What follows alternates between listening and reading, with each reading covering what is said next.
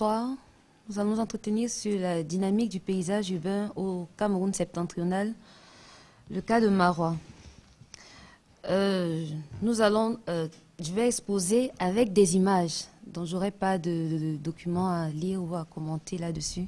Ce sont des images et des photos que je commenterai. Et donc, nous parlons de... Voilà le petit plan, une introduction et tout le reste. Et nous parlons de l'urbanisation qui, en fait, constitue le phénomène marquant de notre siècle, de, ce moment. Nous savons que le monde est à majorité urbain et cette urbanisation se manifeste avec une répercussion euh, très impressionnante dans nos pays euh, sous-développés. Et pour le cas du Cameroun, nous sommes à plus de 55% d'urbanisation, alors qu'il y a 50 ans, on n'était qu'à 15%. Et donc, c'est pour montrer l'ampleur de ce phénomène. Et cette croissance des villes est en conflit avec euh, d'autres objectifs comme la protection euh, des ressources naturelles ou la préservation du patrimoine urbain. Et en même temps que cette, euh, au cours de cette urbanisation, il se déroule, il y a les bidonvilles, les bidonvilles qui s'accroissent. Et donc, euh, cette urbanisation affecte le paysage et elle imprime une marque originale, particulièrement au Nord Cameroun. Pourquoi le Nord Cameroun? Parce que dans le Cameroun, euh, la partie septentrionale est celle qui a été marquée. Voici le, cas géographique. Nous avons tout ceci représente le nord du pays et la ville. Bon, cette partie a été marquée par ce qu'on appelle euh, le phénomène des villes précoloniales, des villes qui ont existé en fait avant que la colonisation ne prennent place et qui ont été euh, créés par les Peuls au moment de la guerre sainte qui s'est déroulée au moment du XXe siècle. Et donc, euh, nous allons nous intéresser à l'une de ces villes parce que le paysage de ces villes diffère considérablement du paysage du reste du Cameroun méridional. Et la ville à laquelle nous allons nous intéresser se situe ici.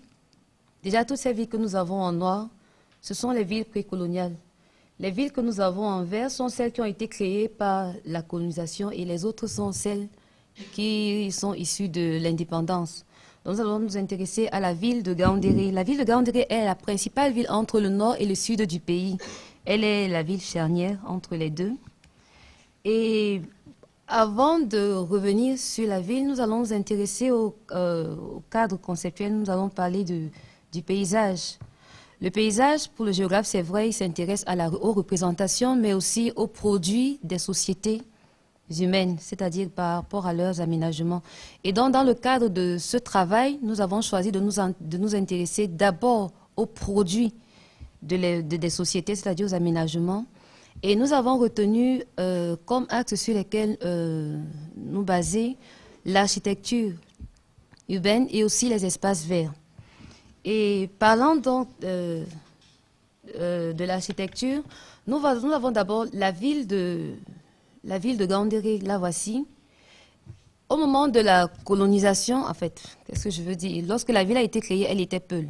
Les colons sont arrivés et ils ont trouvé euh, les Peuls euh, déjà en place. Et ce qu'ils ont fait, c'est qu'ils ont créé une administration indirecte, c'est-à-dire qu'ils passaient par l'autorité administrative en place pour pouvoir diriger. Et c'était l'AMIB. Et donc, euh, la ville que les colons ont, trouvée, c'est celle-ci, que nous appelons le noyau précolonial ou la vieille ville. Et cette ville était en fait, c'est tout ce qui existait de Gaoundiri. Elle était ceinturée par une muraille, surtout son pourtour. Et l'autorité, euh, les lamibés, étaient ceux qui avaient le pouvoir religieux, institutionnel, politique. Ils régnaient surtout. Et lorsque les colons sont arrivés, ils ont euh, dirigé euh, de façon indirecte, c'est-à-dire en se relayant toujours, en fait, en s'appuyant sur, sur, cette, sur cette structure déjà en place. Et donc, Gandiri est un site qui est, c'est un, un, site euh, favorable à l'implantation humaine. C'est vrai que la ville appartient à l'ensemble du Grand Nord. Et nous savons, le nord du Cameroun se caractérise par un climat chaud et sec. Il est de, type soudano-sahélien. Mais la particularité de Gaoundéré, c'est qu'elle appartient au plateau de la Damawa, qui est situé en altitude et qui jouit d'un climat de montagne. Du coup, il se singularise du reste du, du nord Cameroun, et ce qui en fait un endroit assez viable malgré des températures qui ne sont pas toujours euh, propices. Pour ce qui est du peuplement, euh, la ville a été fondée par les Boum, le peuple Boum, et la ville s'appelait au début Gao Andere, ce qui veut dire la montagne du nombril. En fait, la ville est située au pied d'une montagne qui a à son sommet une sorte de rocher qui ressemble à un nombril. Et donc c'est de là qu'est venu le nom et les Peuls ont gardé ce nom et les colons et ensuite l'administration euh, étatique a gardé aussi ce nom. Et avec la colonisation, nous avions deux villes, la, vieille ville et la nouvelle ville. Et la ville, les villes, euh, les endroits qui ont été, en fait, ces endroits qui ont été planifiés, c'était euh, sur les plateaux. Ici, c'est le haut plateau. C'est ici que les, les colons avaient établi leur, leur, leur, leurs établissements. Et avec l'indépendance, à partir des années 60, lorsque le pays a été, en fait, lorsque l'État a pris le contrôle, l'administration a continué avec la planification. Et cette ville appartenait à la grande région du Nord Cameroun euh, en tant que simple ville. Mais à partir de 1983, elle est, elle est devenue chef-lieu euh, de province et en 2007, elle est devenue chef-lieu, euh, elle est devenue chef-lieu bon, de la région, région de la Dama avec les accords de la décentralisation, oui. Et dans ce processus, il y a eu beaucoup de mutations qui se sont opérées. Avec l'administration, il y a eu un transfert de compétences. Et avec le transfert des compétences, autant pour moi, il y a eu l'afflux de population, des aménagements qui ont été réalisés. Déjà, il y a le 30 Camerounais qui a été créé en 1974 et qui a ouvert la route qui a permis de relier le nord du Cameroun au reste, du sud et ce qui a favorisé davantage des échanges et donc un accroissement de population. Sur le plan de l'architecture, bon là c'est juste, nous avons une image satellitale image raster de 2001, qui montre l'étendue de la ville. En 26 ans, la ville a triplé de superficie. Bon, c'est, nous n'avons pas, euh, en fait, je n'ai pas une image qui montre les, débuts de la ville pour que je puisse quantifier de façon diachronique et montrer exactement l'ampleur. je ne l'ai pas euh, encore là.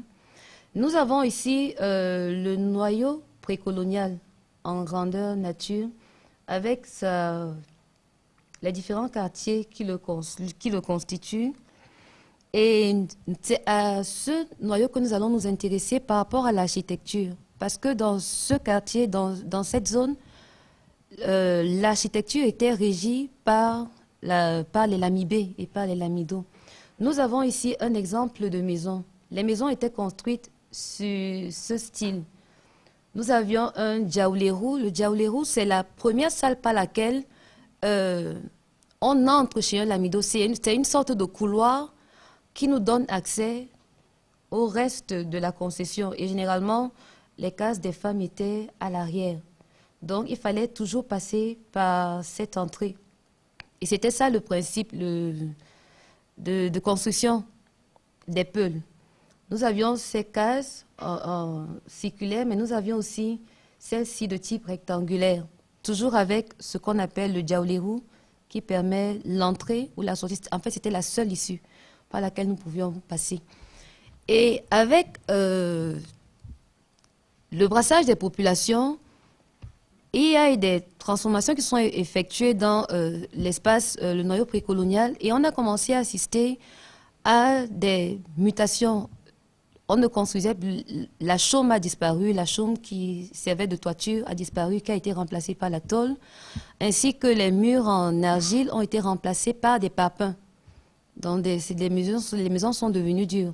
Et ensuite, il y a eu une élévation. Comme nous pouvons voir ici, nous avons sur cette avenue, nous avons des, des immeubles on peut appeler en fait des, des, bâtiments en étage, deux étages, comme on le voit aussi de ce côté. Et tout au milieu, ce qu'on voit en fait, ce sont les anciennes habitations. On le voit encore avec leurs anciennes tôles déjà pour rouiller et bon, d'autres habitations à une seule strate. Mais on se rend compte que toutes ces maisons, ou alors toutes ces euh, habitations étaient préexistantes par rapport à celles qui sont nouvelles. Et ces nouvelles habitations, euh, sont pas des habitations, mais ce sont des bâtiments de commerce la plupart du temps.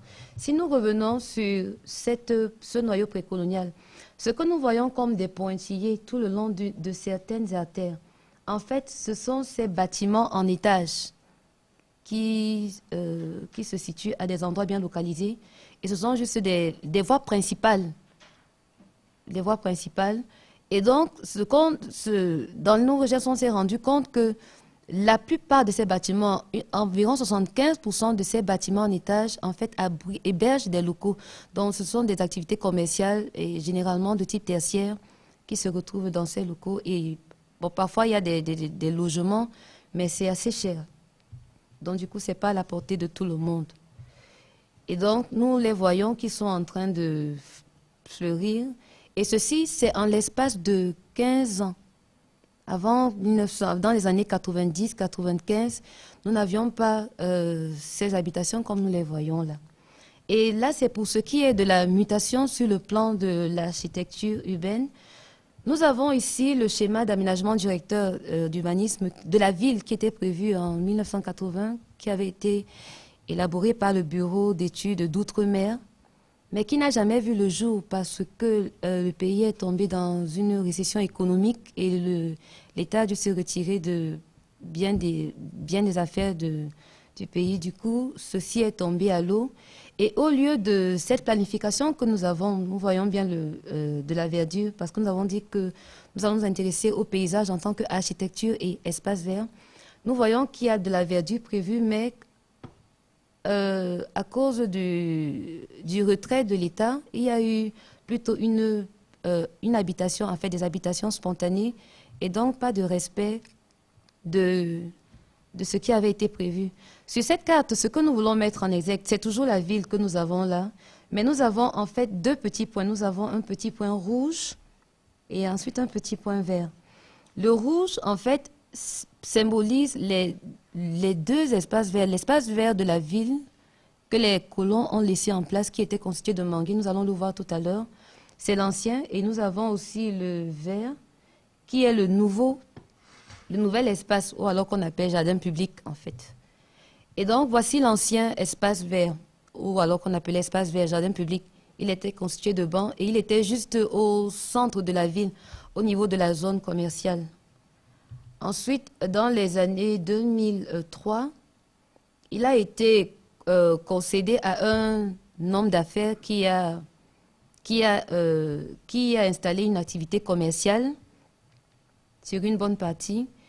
Et ensuite, la communauté, lorsqu'elle a repris en main, elle a plutôt, euh, comment créé ailleurs un nouvel espace vert. Et c'est celui que nous voyons ici.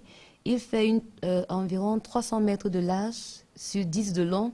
Et là, il était encore en construction. Ceci date de l'année passée. Je crois que c'était entre le mois de mars et avril. Et donc, c'est ceci que nous avons maintenant comme nouvel espace vert dans la ville de Gaoundéré. Auparavant, si nous parlons d'espace vert, en fait, c'est parce qu'auparavant, le Nord Cameroun ne connaissait pas ce qu'on appelle espace vert. Avant que la colonisation ne vienne, ou alors avant que les Européens ne viennent, avec la culture du verre, le verre était rejeté, il était en dehors des murs de la ville, comme on l'a vu. Et pourquoi on disait le, le verre était accusé, la verdure était accusée de pourrir le toit des, maisons, c'est-à-dire le chaume. Et donc, il fallait couper tout ce qui pouvait être arbre et qui pouvait euh, entraîner le pourrissement des toitures. Et c'est pour cela que euh, c'était euh, à l'extérieur de la ville, sans compter que les maisons étaient construites les unes sur les autres il n'y avait pas d'espace pour la verdure et c'est à peine s'il y avait de l'espace pour circuler. Et donc, c'est avec euh, l'arrivée euh, des colons que le verre fait son apparition dans la ville. Et maintenant, avec euh, l'avènement de l'État, le verre reprend, comment on dit, de l'envergure. Et voici les dernières réalisations que nous avons dans la ville qui date à peine d'un an. Et nous avons aussi ces plantations d'arbres qui datent aussi de l'époque, euh, non, de l'indépendance, pas de l'époque coloniale. Et ce sont des, c'est une plantation d'arbres de Terminalia, Albida, je ne sais plus trop. Et ça, c'est une rue de l'avenue commerciale. C'est pour montrer comment, en fait, euh, la nature est en train de revenir en ville. Même si l'entretien laisse toujours à désirer, comme nous le voyons ici sur cette photo, nous avons en fait un, les racines de, du terminalia qui sortent de la terre et qui euh, euh, le bitume tout autour, ce qui crée des dommages. Donc il y a un... Euh, la mise en place de ces équipements n'est pas encore ce qu'il faudrait. Ensuite, nous voyons ici l'ancienne commune urbaine de Grandéry, c'est elle qui est la petite photo là.